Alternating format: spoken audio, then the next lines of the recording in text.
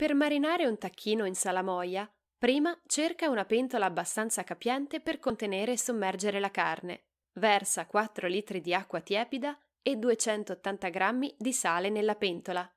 Quindi rimescola fino a far dissolvere quest'ultimo.